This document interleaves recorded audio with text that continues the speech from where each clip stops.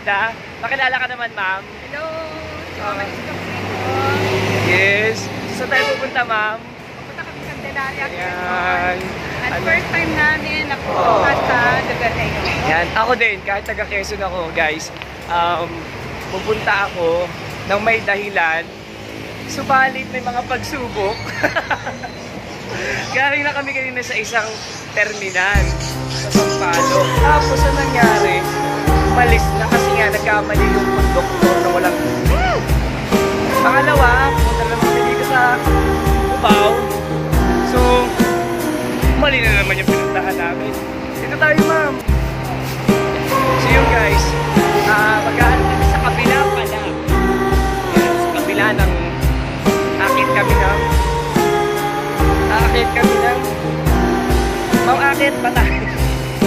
So yun guys, dito muna kami. Bye bye. Yun, nandito po kami sa Cubao. Dalawang bag ko. Yung projector.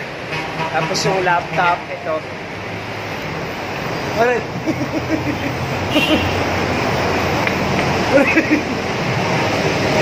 Muntik na naman ako doon. Yun guys. Mamada pagod na. Saan ba talaga tayo sasaka? Ang traffic pa. Oh, tingnan mo mo. So yun. Ay mamada. Kamusta? Eto, hinihingal na. Kaya pa. Kaya pa. Sige guys. Sige, bye-bye muna. Alright, so paalis na kami. Oras natin, anong oras na? 8.42. So yun guys, ah, mga ka-jetic. Pa paalis pa lang kami sa ano sa Cubao. Sinasakyan namin ay ay may Paolo nga pala. Super nice. Bawal may tugtog. Alright, pero anyway, um, lumit ko na lang to. Ano bawal tayo lumit? Alright, yes, uh, Ma'am Ada. Kamusta ang paghihintay?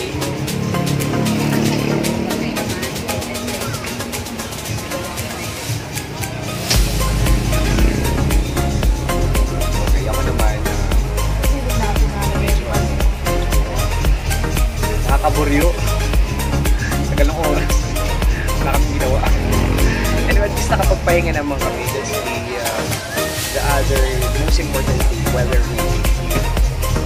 So guys, um, malapit na kami or I think it's gonna be 3 hours to 4 hours while having the travel, di ba mo?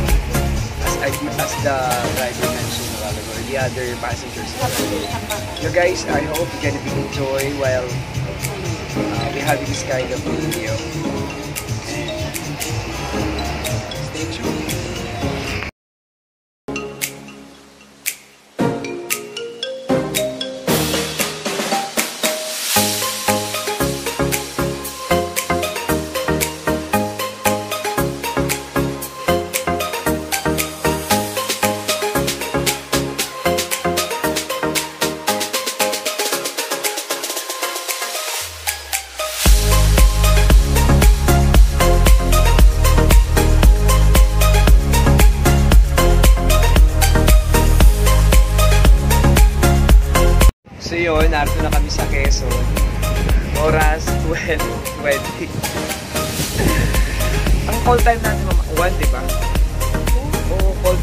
Is 1 o'clock. Mga ka-jetic. So ito si Ma'am Ada. Kamusta Ma'am Ada ang ating uh, paglalakbay?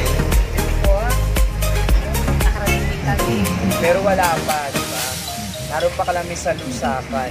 Naroon kami sa harap ng Lusakan sa Elementary School. paaralan. Yan, Lusakan Elementary School. So mga taga Quezon dyan, ako first time makapunta sa Timog. Sa Katim Katimugan ng Quezon. Ito pong unang pagkakataon na makararating ako at nasa Katim, sa Timugan. Sa Katimugan. Kasi sa Norte nakapunta na si Ma'am sa amin, malapit sa amin. So Norte yun, malapit na punta sa may Aurora. So yun po, um, kayo po maghihintay pa. Maunlad na ang bayan ng Quezon. Oo nga, hindi nga makulit. Para Maynila na. So yung mga ka-jetty, Marami eskwelahan. So, masarap ang hangin, ma'am, di ba, ma'am Ada? Ano masasabi mo sa hangin? Anong sasabi mo sa hangin? Ma'am? Aliwalas ang hangin. Marami pa rin puno, di ba ma'am? Marami pa. So yun, mamaya uli, narito pa kami sa bus. Gutom na kami. Sige, bye. Narito na kami saan? Sa Taguan. Taguan, Candelaria, Quezon, guys.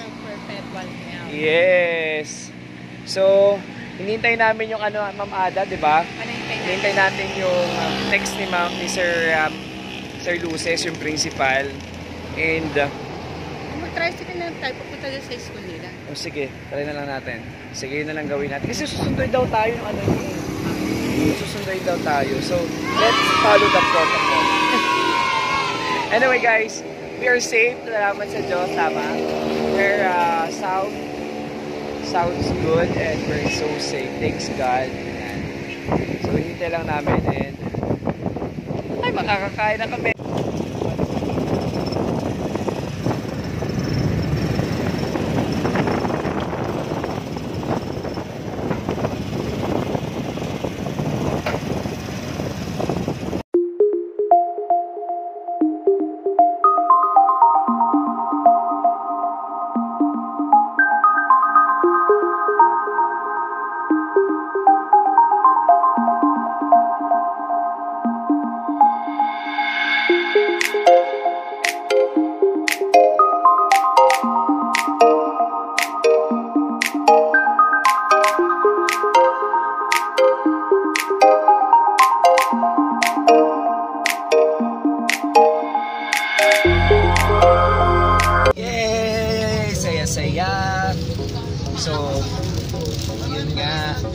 Maraming salamat sa Bocales Sur National High School and it sa principal nila and sa mga saka sa mga, mga teachers doon. Maraming po salamat.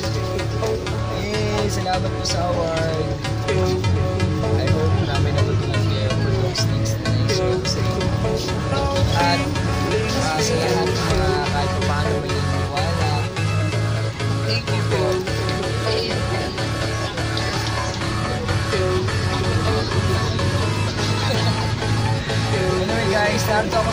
saan tayo ma'am? Sa narito tayo sa Chao ba? Chao ba? Ba't ma'am saan tayo? Boss, saan tayo? Nasaan tayo ngayon? Ha? Saan tayo? O, saan tayo?